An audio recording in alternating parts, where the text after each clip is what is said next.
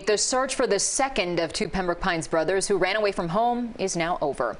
Pembroke Pines police tweeting this morning that Nicholas Gattorno has been found. The 14-year-old and his 12-year-old brother Jonah reportedly ran away over the weekend. Jonah was picked up by Hollywood police on Monday afternoon, but Nicholas got away by swimming across a canal.